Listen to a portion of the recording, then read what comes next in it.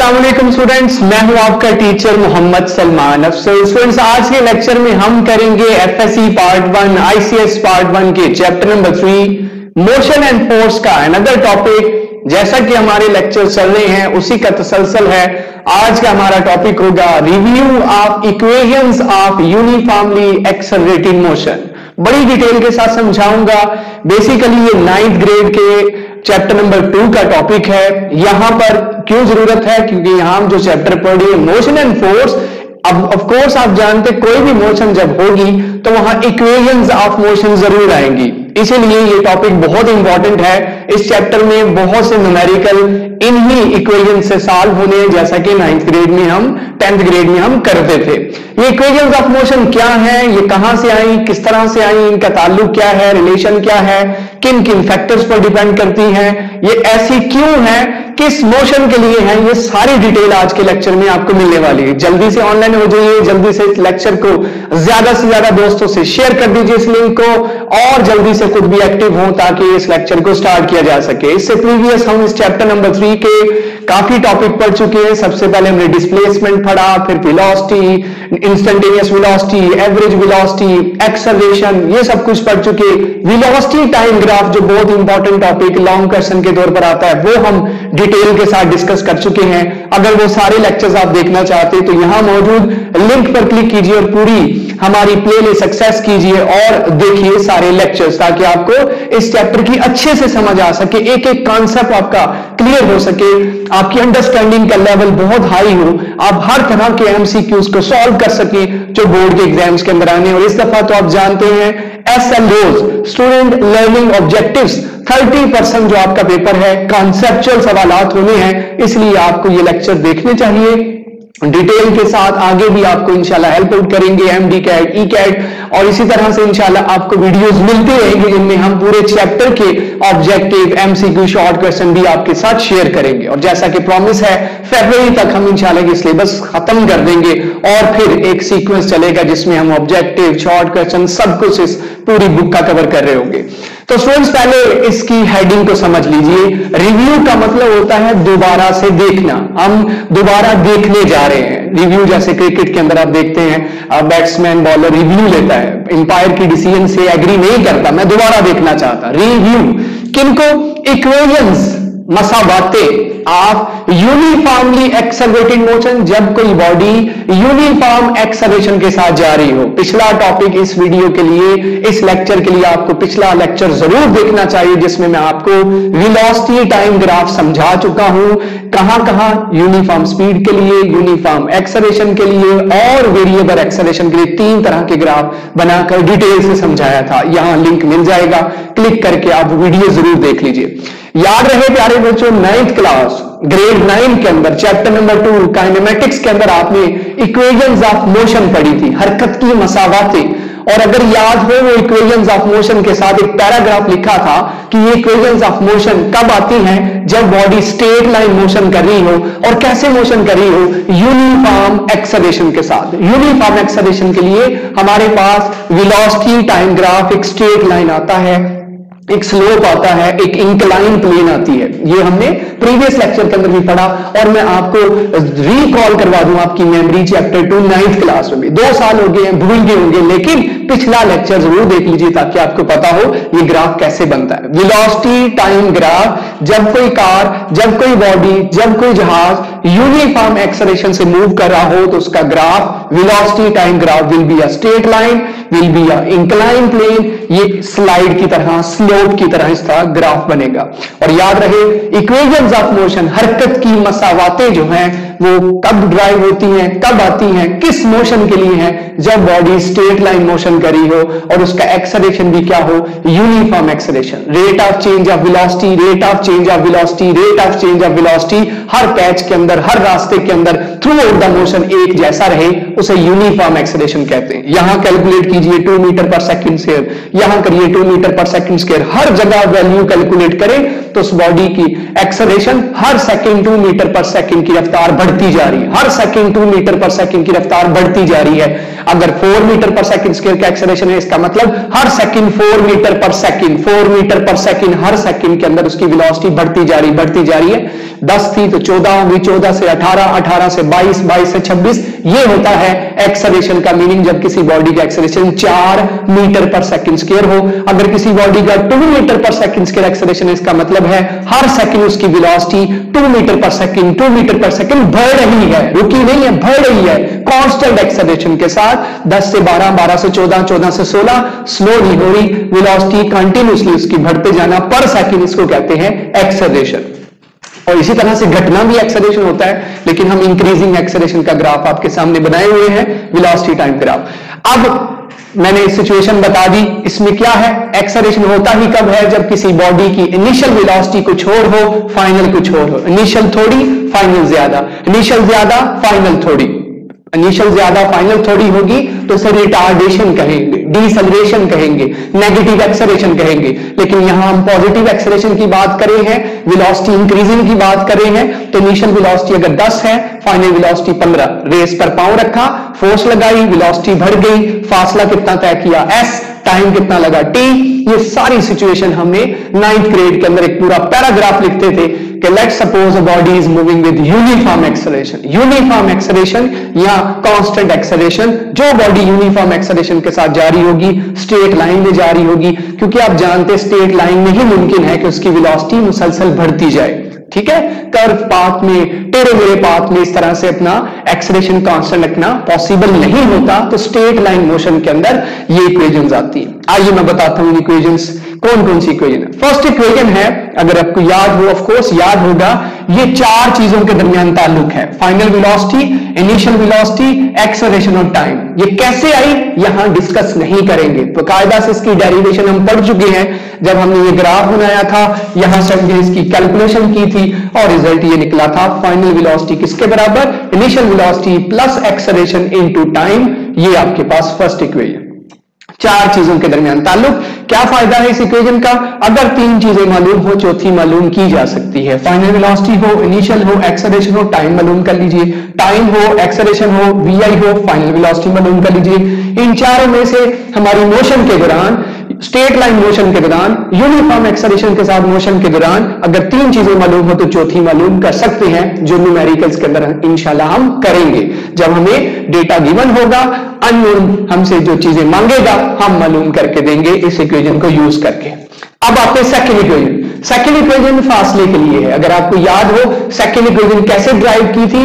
Acceleration के नीचे जो ग्राफ बन रहा था यूनिफॉर्म एक्सलेशन से बॉडी मूव कर रही थी, इसके नीचे जितना ग्राफ बन रहा था, अगर आपको याद हो कुछ इस तरह से, इस सारे ग्राफ का एरिया कैलकुलेट किया था। Area of triangle plus area of rectangle दोनों को जमा किया और सेकेंड इक्वेजन का रिज़ल्ट आ गया। डिस्टेंस ट्रेवल्ड डिस्टेंस कवर्ड ये कैसे निकाली थी, वो भी मैं आपको बता रहा हूँ। हालाँकि ज़रूरत नहीं है, हमें पता है, जब कोई बॉडी स्टेट लाइन में जारी होगी, उसके पास कांस्टेंट एक्सरेशन होगा, उसकी वेलोसिटी मुसलसल बढ़ती जा रही होगी तो इसका मतलब ये है, एक जितने रेट से, एक जितने रेट के साथ उसकी वेलोसिटी बढ़ती जा रही होगी तो ये इक्वेशन आएँगी।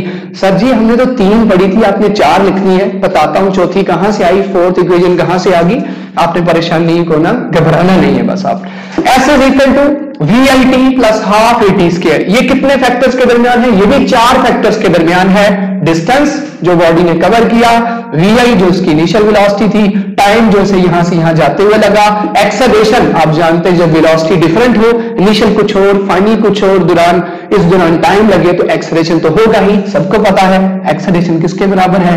V F minus V I over T rate of change of velocity जब भी किसी बॉडी की वेलोसिटी बढ़ती है या घटती है, इसका मतलब उसके पास एक्सेलेशन है। तो यहाँ वेलोसिटी बढ़ रही है तो एक्सेलेशन तो है, और टाइम फिर से आ गया। तो एक दो, तीन और चार फैक्टर्स के दरमियान ये ताल्लुक है। टाइम दो दफ़ा आ रहा है, एक ही फैक्टर कंसीडर होगा। कोई तीन चीज़ें मालूम हो तो हम चौथी मालूम कर सकते हैं। ये टाइम एक्सलेशन मालूम हो तो डिस्टेंस कितना गाड़ी ने, जहाज़ ने, बंदे ने, जो भी चीज़ यूनिफॉर्म एक्सलेशन के साथ जारी है स्टेट लाइन में जारी है, हम उसके लिए फासला मालूम कर सकते हैं। ये है फ़ायदा इक्वेजन ऑफ़ मोशन का, जो कब ड्राइव होती हैं, जब बॉडी स्टेट लाइन मोशन कर रही हो यूनिफॉर्म एक्सलेशन के साथ जारी हो, उसका ग्राफ ग्राफ इस तरह का हो, जिसे क्या कहा जाता है? स्लोप भी कहा जाता है, जिसे इंक्लाइन प्लेन भी कहा जाता है, जिसे स्लाइड भी कहा जाता है। ठीक है? Straight line slope incline plane third equation of motion ये भी कुछ ऐसे ही कैलकुलेट की गई थी, अगर आपको याद हो। फिर हमने पूरी इस डायग्राम को एक डायग्राम समझा था। पूरी डायग्राम का हमने एरिया कैलकुलेट किया था। और याद है area of trapezium area of trapezium calculate किया था। पूरी डायग्राम के नीचे ट्रायंगल प्लस रेक्टेंगल पूरी डायग्राम जो बननी थी वो ट्रपीजियम थी। और ट्रपीजियम का एरिया कैलकुलेट किया तो थर्ड इक्वेशन हमारे पास आई थी। थोड़ा सा अपनी मेमोरी को रिव्यू कीजिए अपने जहन को, थोड़ा सा पीछे ले जाइए एक आध साल तो आपको याद आएगा। जी सर, ऐसे ही किया था। ये भी चार चीज़ों के दरमियान ताल्लुक है। एक्सलेशन फासला final velocity and initial velocity यही तो चीज़ें हैं। जब बॉडी की विलासिटी इनिशियल कुछ हो फाइनल कुछ हो, फासला तय हो टाइम लगे एक्सरेशन हो तो टोटल कितने फैक्टर्स हैं? एक, दो, तीन, चार, पाँच। पाँचों चीज़ों के दरमियान जो ताल्लुक है, उन्हें इक्वेशन ऑफ़ मोशन कहा जाता है। हर इक्वेशन में कम से कम चार फैक्टर्स आ रहे हैं, चार फैक्टर्स इनमें पाँचों में से आ रहे हैं, कोई तीन दिए हो तो हम चौथा मालूम कर सकते हैं इन इक्वेशंस के ये फ़ायदे। ये इक्वेशन कहाँ से आई? ये तो डिस्टेंस का सिंपल सा फार्मूला है, किसको नहीं आता? डिस्टेंस का फार्मूला डिस्टेंस की तारीफ़ सब बच्चों को पता है स्पीड की तारीफ़ तो सबको पता, भी स्पीड को पढ़ा था हमने sir ji. Speed is equal to distance over time याद कीजिए speed is equal to distance over time और डिस्टेंस किसके बराबर होगा? स्पीड इंटू टाइम नहीं है।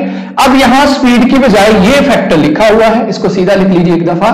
प्यारे बच्चों, ये जो v है this is average average velocity की शक्ल में लिख लिया है, क्योंकि नॉर्मली जब हम स्पीड कैलकुलेट करते हैं वेलोसिटी कैलकुलेट करते हैं तो एवरेज वेलोसिटी ले रहे होते हैं। इस वजह से इस वेलोसिटी को initial plus final divided by two उसने ऐसे लिख दिया है। Final plus initial divided by two velocity की बजाय एवरेज वेलोसिटी लेके ये रिलेशन लिख दिया है। कंफ्यूज होने की ज़रूरत नहीं है। यही फार्मूला यही इक्वेशन है, लेकिन यहाँ v की बजाय एवरेज वेलोसिटी लिख दी है। Final plus initial over two final plus initial over two पहली प्लस दूसरी ओवर टू एवरेज लेके साथ में टाइम से मल्टीप्लाई कर दिया।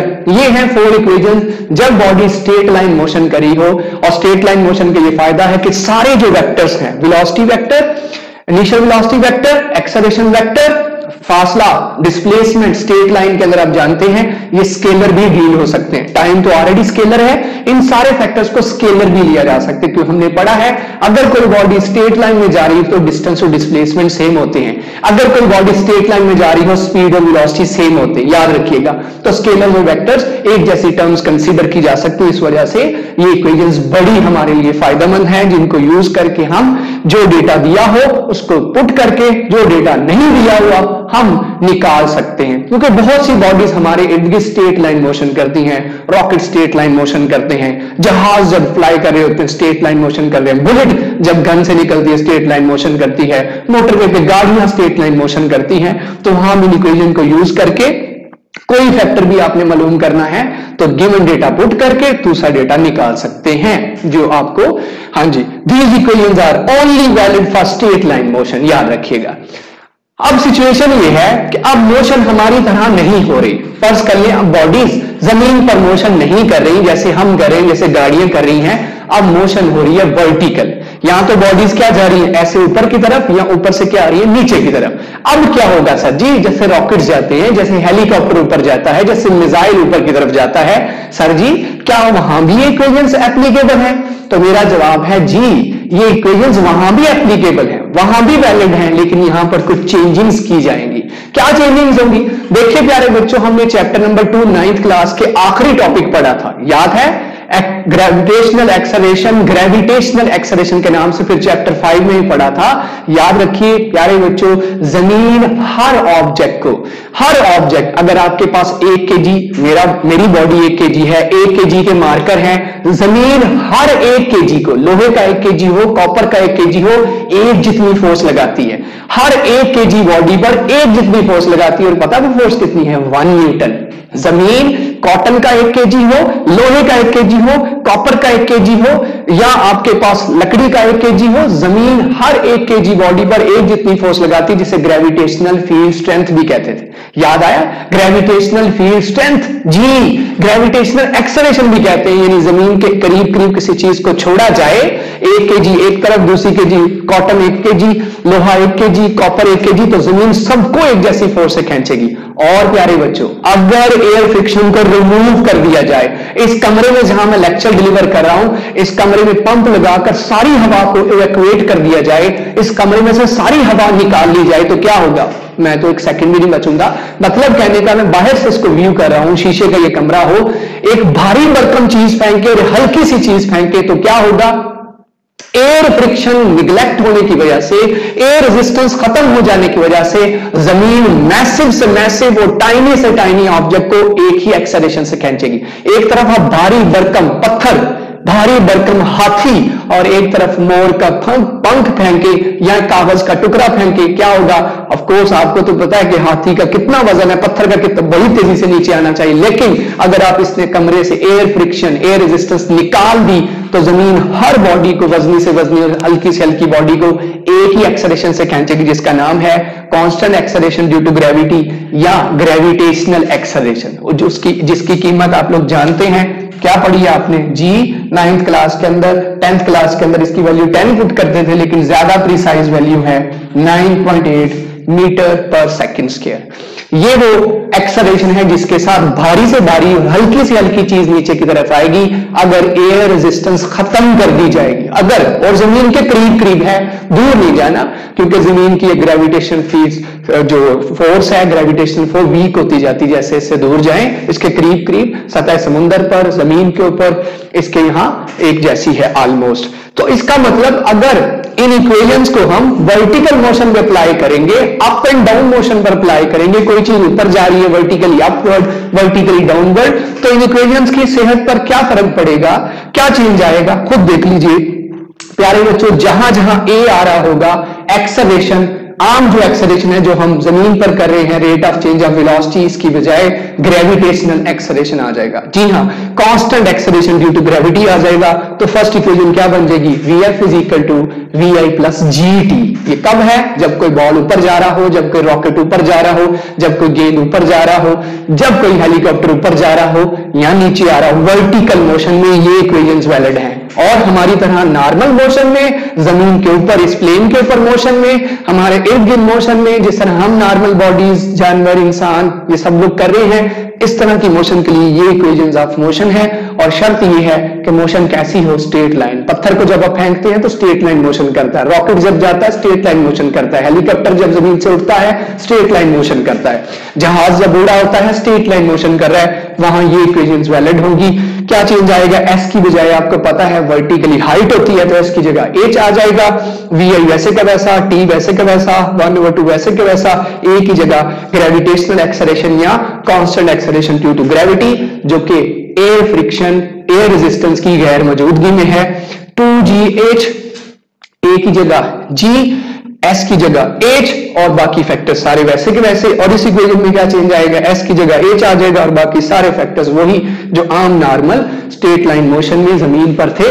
उसी तरह से ये फैक्टर्स ये है इक्वेशन ऑफ़ मोशन जब हम हम हम सरफेस ऑफ़ अर्थ पे मूव करते हैं, हम नॉर्मल मोशन करते हैं, और ये इक्वेशन ऑफ़ मोशन कब यूज़ होगी? न्यूमेरिकल में यूज़ होगी, जब हम वर्टिकल मोशन करेंगे, जब बॉल को थ्रो करेंगे, जब रॉकेट चलाएँगे, जब तोप खाने से गोला चलाएँगे, जब प्रोजेक्टाइल मोशन होगी, ठीक है? जब हेलीकॉप्टर उठेगा, जब वर्टिकल मोशन होगी, वहाँ एक ही बजाय ग्रेविटेशनल एक्सलेशन आ जाएगा। ग्रेविटेशनल फ़ील्ड स्ट्रेंथ आ जाएगी। जी, क्योंकि आप ग्रेविटी के मुखालिफ जा रहे होंगे। या टूवर्ड्स ग्रेविटी आ रहे होंगे, वहाँ ये एक्सीडेशन होगा और ज़मीन के करीब करीब, ज़मीन के करीब करीब इसकी वैल्यू नाइन पर डेटा जब इससे अब जाएँगे तो इसमें आपको चेंजिंग्स करना पड़ेगी। लेकिन हम आपके लेवल तक यही फार्मूलाज यही कैलकुलेशन पुट करेंगे। ये था आज का लेक्चर जिसमें मैंने आपको बता दिया कि equations of uniformly accelerated motion जब कोई बॉडी स्ट्रेट लाइन मोशन कर रही हो यूनिफॉर्म एक्सलेशन से मोशन कर रही हो और यूनिफॉर्म एक्सलेशन फिर रिपीट कर दिया क्या है?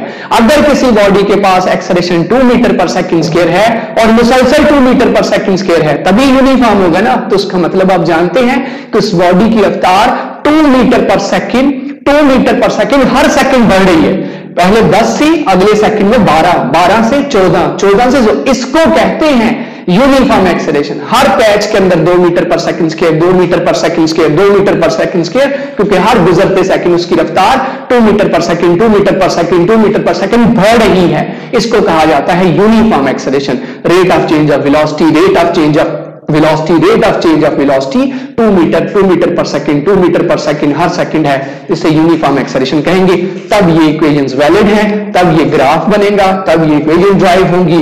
और फिर जब हमारे पास यूनिफॉर्म ग्रेविटेशनल एक्सलेशन के अंडर मोशन होगी एयर रेजिस्टेंस की गैर मौजूदगी में मोशन होगी फ्री फॉल मोशन होगी फ्री फॉल आजादाना नीचे की तरफ़ या ऊपर की तरफ़, तब हमारे पास इक्वेशन ये हैं। और फ्री फॉल में नॉर्मली टुवर्ड्स द अर्थ है टुवर्ड्स द अर्थ है। अब आप गौर कीजिए बेटे, अगर अगेंस्ट द अर्थ जाएँगे यानी ऊपर से कोई चीज़ आ रही है, अगर नीचे से ऊपर जाएगी तो यहाँ चेंज क्या आएगा? आप सब लोग जानते हैं जी की बजाय जब इसकी कीमत पुट करेंगे तो जी नेगेटिव जी पुट करेंगे minus nine point eight put करेंगे। जब भी अगेंस्ट ग्रेविटी आप जाएँगे तो जी की बजाय माइनस जी आएगा। बाकी फैक्टर्स वही के वही रहेंगे एच भी वही रहेगा हाइट नेगेटिव नहीं होती, लेकिन जब कोई चीज़ ज़मीन के ऑपोजिट जाती है, ये था टुवर्ड्स द अर्थ तो सारे फैक्टर्स पॉजिटिव लेकिन अगेंस्ट जब जाएँगे तो जी की जगह नेगेटिव जी नेगेटिव जी और नेगेटिव जी पुट कर देंगे। ये आगे चल के आप यूज़ भी करेंगे क्योंकि आप ग्रेविटी के अर्थ के अगेंस्ट जा रहे हैं, इसकी फोर्स के अगेंस्ट जा रहे हैं। जब अगेंस्ट जाएँगे तो जी की जगह नेगेटिव जी आएगा। आज का लेक्चर उम्मीद करता हूँ आपको पसंद आया होगा, बहुत आसान सा टॉपिक था।